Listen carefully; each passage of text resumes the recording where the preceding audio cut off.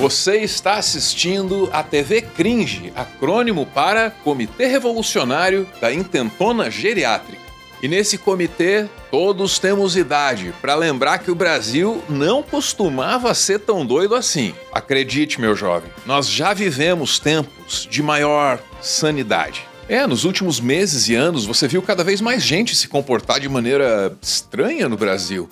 Parece política, né? Mas não é só isso. Não, tem muita emoção envolvida. Às vezes tem um fanatismo que faz até o fanático sofrer. O que une essas pessoas é muito mais que ideologia, é uma visão de mundo que é simplificada e também reconfortante. Só que essa é uma visão fantasiosa, é uma visão mentirosa. Fantasias e mentiras, elas não podem resistir para sempre. Sabe por quê? Porque a realidade sempre se impõe. É, a realidade sempre se impõe. Não esqueça disso. E quando a realidade se impõe a fantasia se despedaça, vem o sofrimento. A dificuldade que os nossos patriotas tiveram não foi só de aceitar o resultado de uma eleição. Não foi a dificuldade de aceitar que eles acreditaram nas coisas erradas. Tipo as 20 vezes em que o Alexandre de Moraes foi preso, ou aquele estado de sítio que nunca foi decretado em Brasília, lembra? Fizemos parte dessa. Fizemos parte, fizemos parte. Conseguimos estado de sítio. Pode ter certeza, esses dois aí, eles não deixaram de vestir o verde e o amarelo nem depois da inevitável desilusão que veio quando aquela notícia ali se provou falsa. E aí a gente tem que se perguntar por quê? Por que a mente humana insiste em se apegar às mesmas certezas, até mesmo quando elas são contrariadas? Isso é o que a gente vai tentar entender hoje.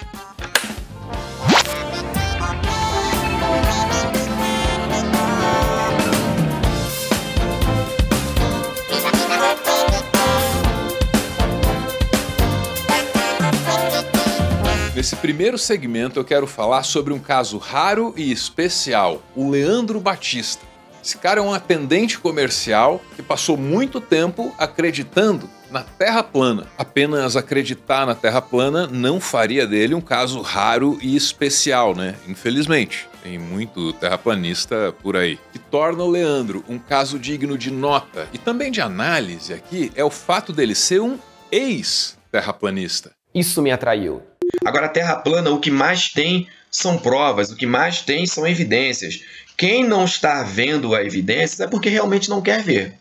Meu nome é Leandro Batista, eu tenho 36 anos, eu sou atendente comercial. O que ele come, o que ele vive, onde ele mora, o que ele veste. Não, eu sou um cara normal como qualquer outro. Daqui a pouco eu vou pegar um trem lotado para ir trabalhar como qualquer outra pessoa.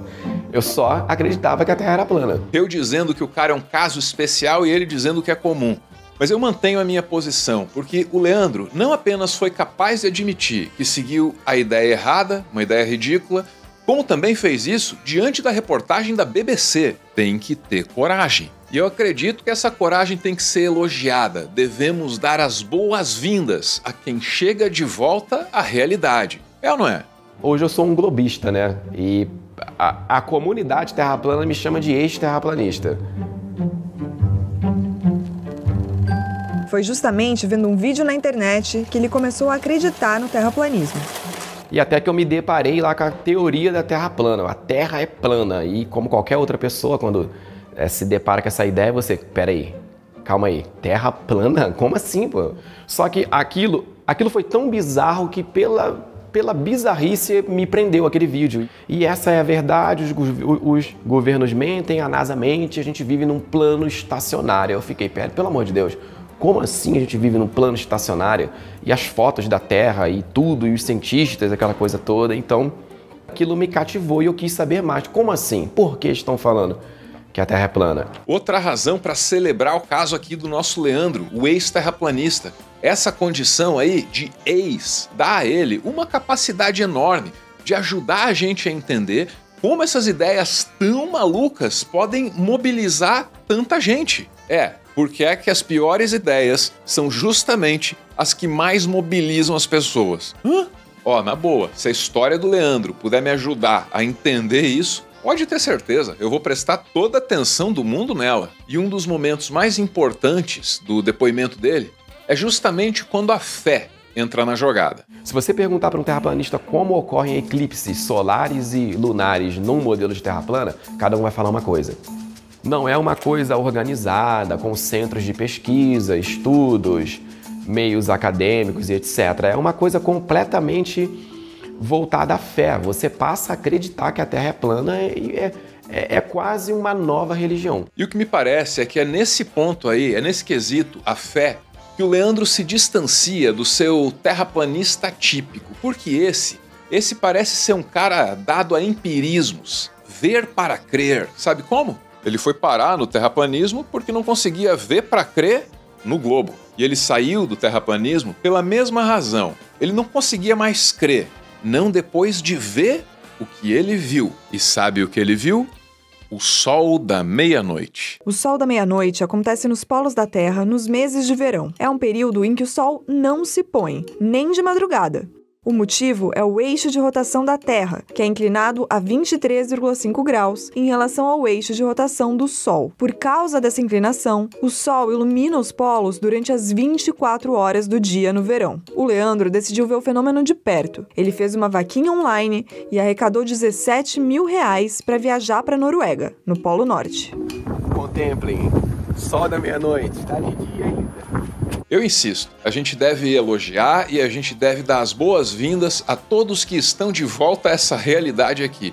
Isso é muito importante, até porque quando Leandro se afasta de uma ideia como a Terra plana, ele também se afasta de umas outras ideias que podem ser até mais perigosas. E o melhor, ao menos uma parte dos seguidores dele ganha o incentivo para acompanhar o Leandro nessa jornada pela lucidez Pô, não deve ser uma viagem fácil, não, hein? Alguns cientistas dizem que, apesar de parecer uma crença sem grandes consequências, o terraplanismo acaba abrindo espaço para as pessoas duvidarem da ciência e das instituições. É um caminho para embarcar em teorias conspiratórias mais graves, como negar a existência de epidemias ou se recusar a tomar vacinas. Agora, o Leandro quer fazer o caminho inverso: convencer os seus seguidores de que a Terra é redonda. Ao longo desses seis anos, eu produzi aproximadamente 3 mil vídeos defendendo a teoria da Terra plana.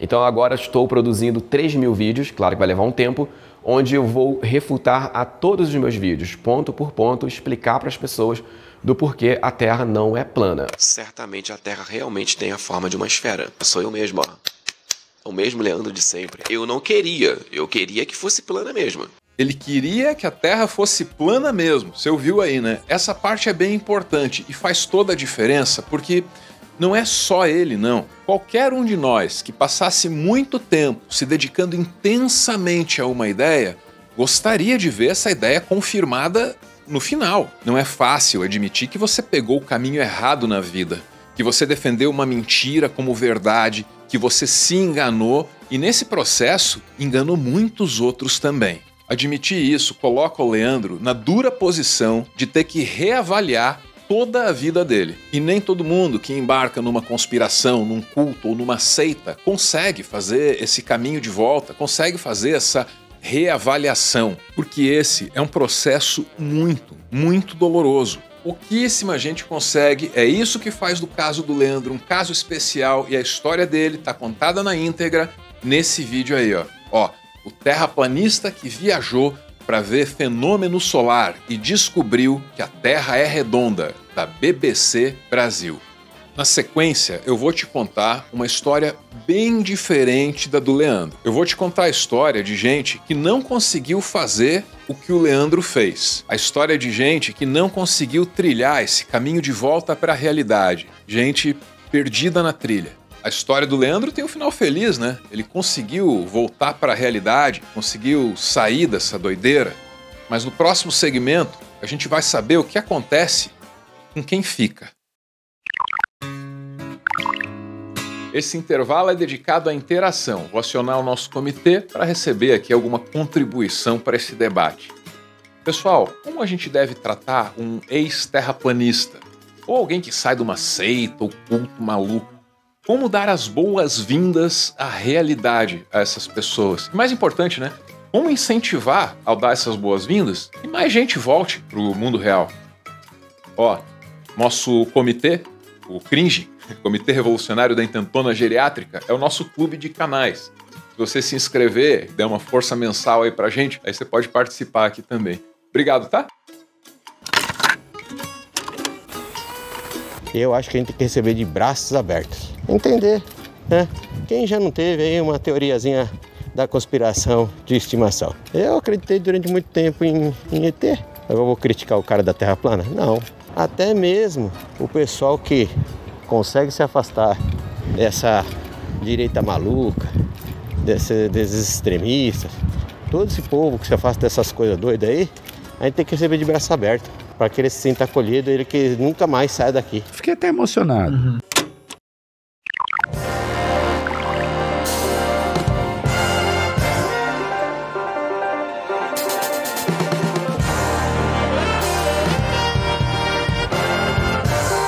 Nossa próxima história começa na década de 50 nos Estados Unidos.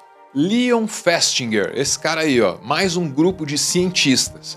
Eles se infiltraram numa seita, uma seita que cultuava alienígenas e que garantia que o mundo estava prestes a acabar. E como toda seita, essa aí tinha uma líder, né? É, era só uma pessoa lá que falava com os alienígenas e passava o recado pra galera. Quem? Essa mulher aí, ó. Dorothy Martin, conhecida internamente ali dentro da seita por Irmã Tedra. Parece que foram os alienígenas aí que rebatizaram ela, uma cerimônia belíssima, rapaz. E a seita da Dorothy se chamava The Seekers. É, tem até uma banda com esse nome, viu? O nome é legal, pô. Nos anos 50, a seita lá estava muito na ativa, por quê? Porque a galera estava esperando o cataclisma. Sim, os alienígenas tinham avisado que o mundo ia acabar tinham dado até uma data, um dia e uma hora, certinho ali para a irmã Tedra. O mundo terminaria no dia 21 de dezembro de 1954. E o cientista, o Festinger, mais a equipe dele, esses caras queriam saber o que aconteceria no dia 22 de dezembro, depois que a profecia falhasse. E foi por isso que eles se infiltraram na seita. E aí, uma vez dentro da seita, eles perceberam que os membros já não faziam parte da sociedade lá fora. Não, eles não participavam do cotidiano das comunidades deles, de maneira alguma. Os membros dessa seita tinham sido tão doutrinados que as suas vidas agora giravam apenas em torno da ideia de que o mundo iria acabar no dia 21 de dezembro. Convivendo dentro da seita, o Festinger foi percebendo que a galera abriu mão de dinheiro, abriu mão de laços familiares, de vínculos sociais. Os membros dessa seita só interagiam com os membros dessa seita. E o calendário correndo, e a data chegando. Todo mundo esperando o dia 21 de dezembro. Nesse dia aí, um disco voador iria chegar, disco voador convocado lá pela irmã Tedra, né? Para salvar a seita do fim do mundo. Então ia rolar um dilúvio, mas o disco voador viria para levar a seita inteira embora. E aí, todo mundo se reuniu para embarcar na nave. Mas chegou a hora, meia-noite do dia 21 de dezembro, e nada. Não aconteceu nada. Óbvio, né? Não veio alienígena nenhum. E para os cientistas que estavam infiltrados na seita, esse ia ser o grande momento, né? Eles estavam esperando aquela hora ali para descobrir o que é que aqueles caras iriam fazer. Será que os membros da seita iriam se revoltar? Ou será que ao invés de revolta, o que ia rolar ali ia ser uma desilusão, uma tristeza, o fim da seita? Ou mais drástico ainda, imagine que revoltados e tristes, eles sentassem o cacete ali na irmã Tedra. Tudo podia acontecer mas aí, de novo, não aconteceu nada. Um novo dia raiou, o sol apareceu, céu aberto, tranquilo, nem sinal de dilúvio, nada de tempestade, nada de disco voador, claro, né? Mas também nada do fim da seita, nada de revolta, nada de desilusão.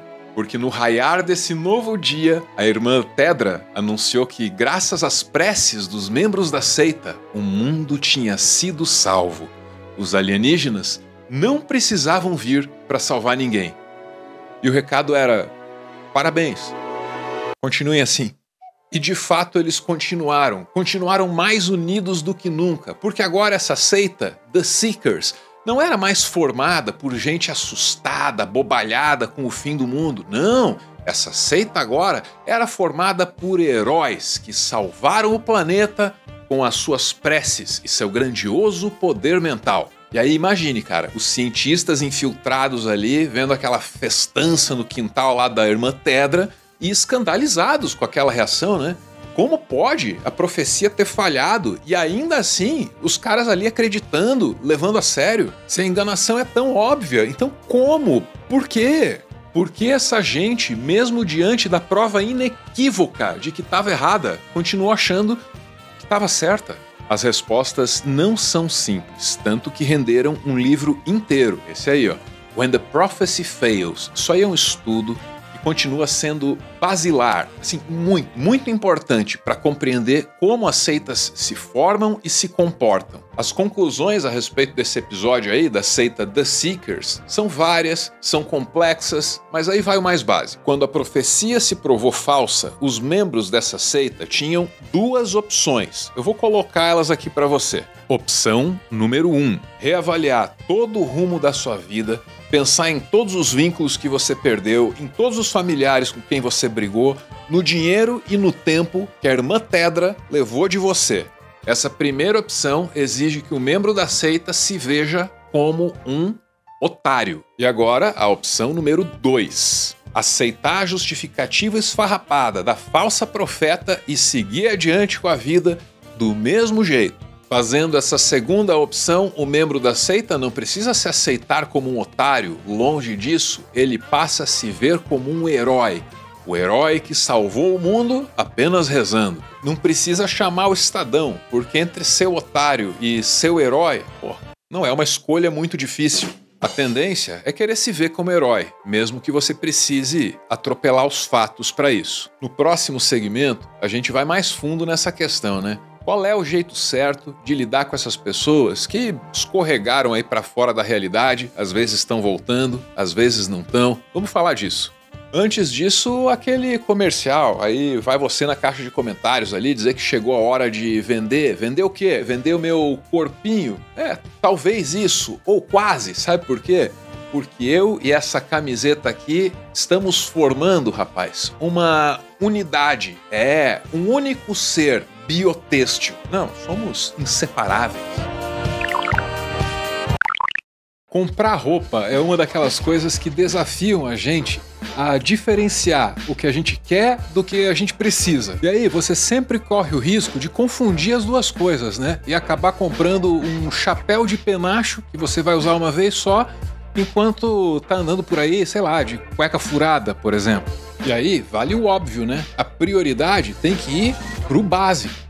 E a Insider tem tudo o que você precisa para dar conta do seu guarda-roupa básico. Precisou de cueca? Vai na Performance, não tem erro. Precisou de meia? Vai na Spectrum Socks Mid 2.0, essa que eu indico. Se eu quisesse, sei lá, roupa para dia frio, cara, eu ia no Heavy Hoodie ou então no Heavy Pullover, né? Também, sem erro. Se eu quisesse uma calça, eu ia na Iber Jogger, também da Insider, claro. E se precisar de shorts, manda lá, ó, Future Shorts. E para completar a linha, ela, sempre ela, a Tech T-shirt. A minha é uma M preta, na loja você vai encontrar em outras cores, em outros tamanhos também, do P ao XXGG. Quando for dar uma passeadinha lá no site da Insider, leva o nosso cupom Meteoro, tá aparecendo aí na tela, ó. Tal, 12% de desconto em qualquer produto da loja.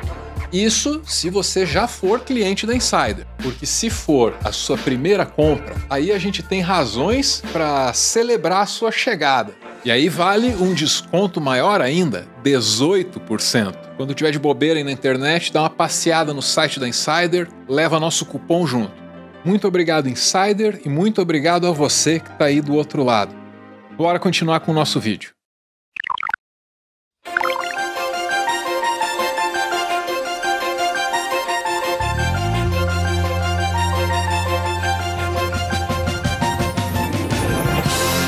Até aqui a gente já conheceu o exemplo do Leandro, cara que embarcou numa ideia maluca, colocou um pé para fora da realidade e conseguiu voltar são e salvo, sem cair da borda da Terra plana.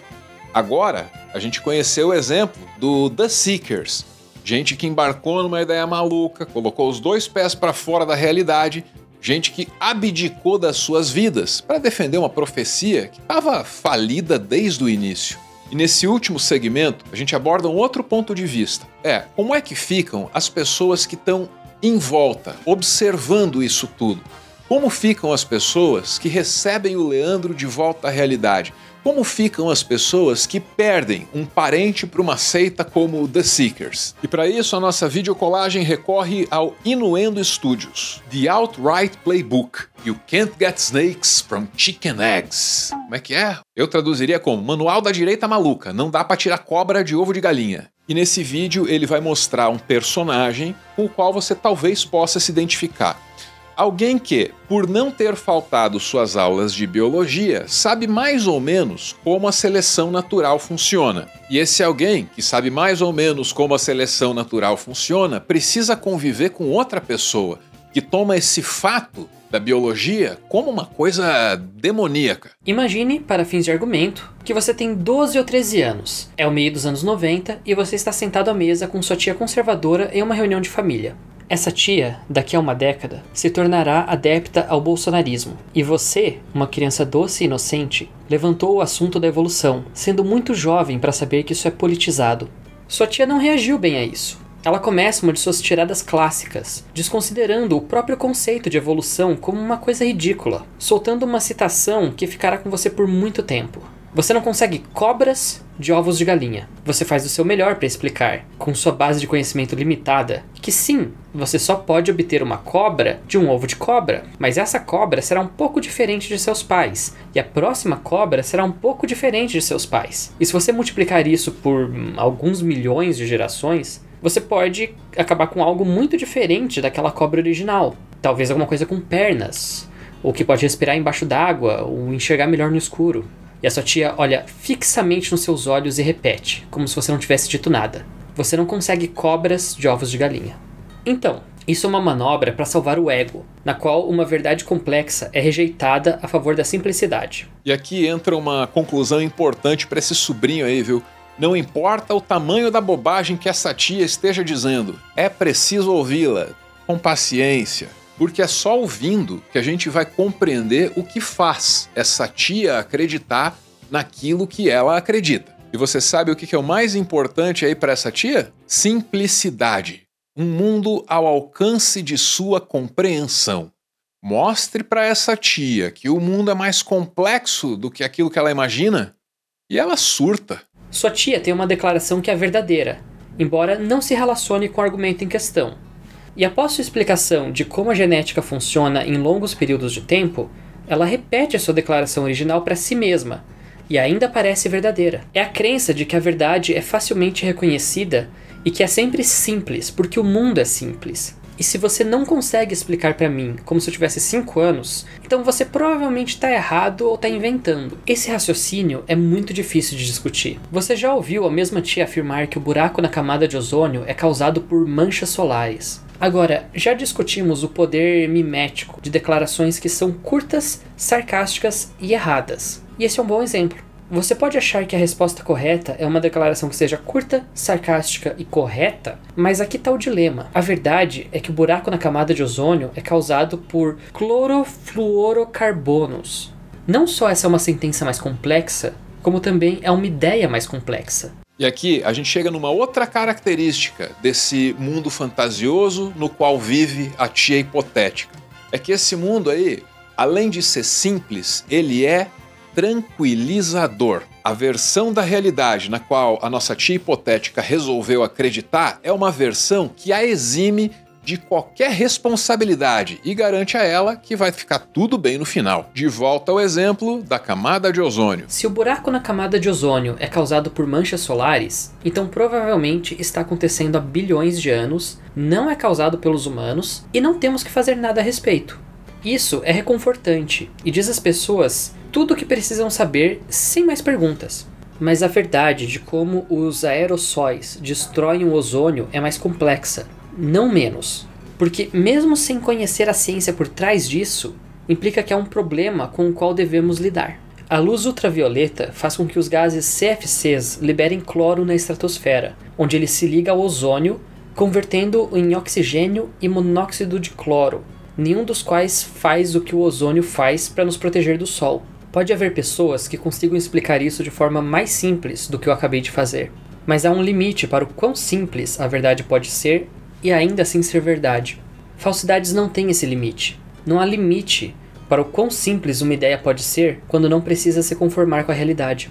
Se você joga o jogo de quem tem um argumento mais simples, os mentirosos vencem sempre.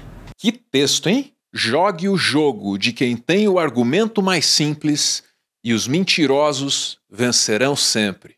Uau! Bateu uma salva de palma aqui pro profissional. Agora a gente está com um problema nas mãos aqui, né? Não dá para oferecer para essa tia uma versão da realidade ainda mais simples que aquela que ela segue. Não dá. Também não dá para oferecer para ela uma versão da realidade que seja mais reconfortante. Aliás, muito menos, né? E agora, o que nos resta? Talvez deixar de lado todos aqueles fatos pontuais que engatilham aí a nossa tia. O ovo, a galinha, a evolução, a terra plana, tudo isso. Deixar os fatos de lado para se concentrar no conceito, o conceito de complexidade. A primeira coisa a fazer seria fazer essa tia aceitar que o mundo é complexo demais para que qualquer um possa compreendê-lo plenamente. Dessa forma, você se coloca diante dessa tia não como alguém superior que sabe de tudo aquilo que ela despreza. Não. Ao invés disso, você, num dificílimo exercício de humildade, se colocaria lado a lado com essa tia hipotética dois seres humanos tentando compreender um mundo absolutamente misterioso. É um passo, porque essa primeira aceitação, apenas conceitual, ela não faz com que todo o sistema de crenças daquela tia desmorone na cabeça dela, provocando uma dor imensa, necessidade de reavaliar a própria vida. Não tudo de uma vez, mas depois dessa aceitação inicial, a tia bem que poderia se tornar um pouco mais aberta ao diálogo, proporcionando avanços futuros. Você não pode ser mais simples do que manchas solares. Mas se você puder convencer as pessoas de que o mundo é complexo, então explicações simplistas em geral se tornam suspeitas. Pode ser tarde demais para fazer isso com a sua tia, mas talvez ainda haja esperança para os seus primos. Se você está se perguntando o que eles fazem quando confrontados com algo que não podem negar ser complicado, bem, você fez isso. Você ou alguém como você pegou o mundo simples deles e o complicou. Todas as teorias da conspiração e apontar dedos e capturas de tela que eles fizeram no pente são história de como você complicou demais o mundo. Isso preenche a lacuna entre a simplicidade do mundo que eles acreditam e a complexidade inequívoca do mundo em que vivemos. E sim, essa história é pelo menos tão complexa quanto a verdade que você está tentando contar a eles. E não, isso não faz sentido. Mas esse é um detalhe, porque a moral dessa história é incrivelmente simples. É assim porque algumas pessoas fizeram com que fosse assim, e tudo que a direita precisa fazer é tirar o poder dessas pessoas, e as coisas serão simples novamente. Essa é a versão deles de um mago fez isso. O sobrinho desse vídeo aí do Inuendo Studios, ele tem um desafio que ele precisa aceitar. Esse sobrinho está desafiado a ser para a tia dele aquilo que o sol da meia-noite foi para o Leandro. O sol da meia-noite na Antártica para mim é isso, ele cortou a minha paixão pela Terra plana. Eu fiquei assim, meu Deus do céu, não tem como eu sustentar mais essa ideia. E assim como um amor não correspondido, você fica chorando a vida toda ou você segue a vida? Tem que seguir a vida, né? Então eu tô seguindo a vida. A Terra é um globo e eu tô seguindo a vida. É isso.